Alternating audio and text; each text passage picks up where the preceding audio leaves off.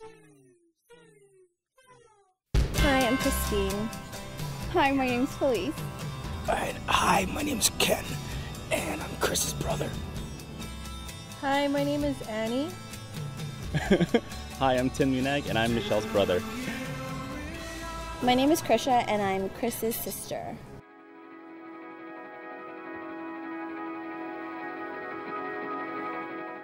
Can't pinpoint one specific memory because I had so many memories with them. So I always have fun, and I always enjoy their company whenever I'm with them. They'll be coming off dates where Kris would just come, come back and hang out, and he has this that's that stupid look on his face, like you know, like something great just happened to him, and you know he has that smirk and like, uh, here we go. So Kris, how wonderful was the date?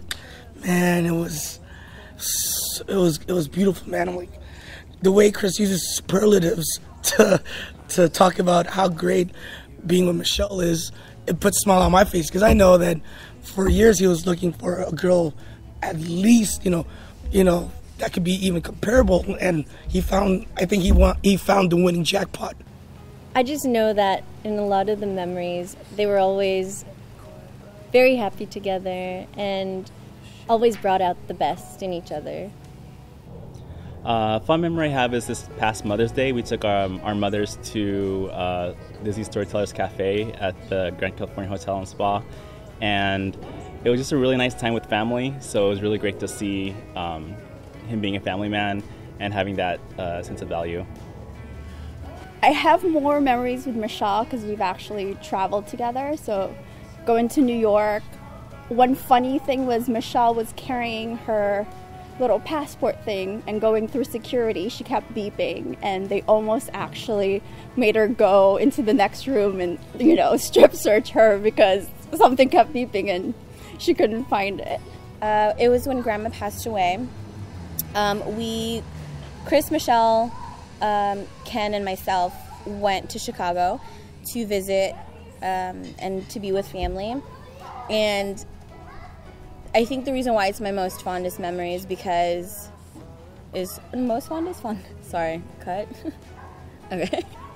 Um, I think it's my most fond the fondest memory because it made me realize how much they've rubbed off on each other. Um, when I first met Michelle, she was very reserved, and seeing her in the atmosphere with all her cousins and just family in general, she was just very laid back and she was quick with the jokes and it that's very a big that's a side of my brother that I can definitely see in her.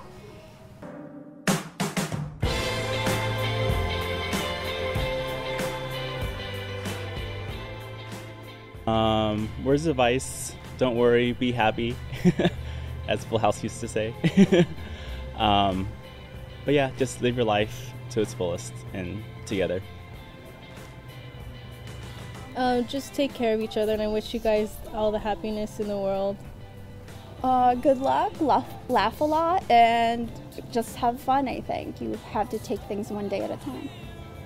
It's funny because I really I don't necessarily have advice because I feel like they work so well together and they they're really good at communicating. I think that they'll work through anything. So I guess my only advice is to continue the constant conversations and the the dates and the you know just keep that keep that spark going. I mean they've they've kept it going for 11 years, so here's to 90 more, you know.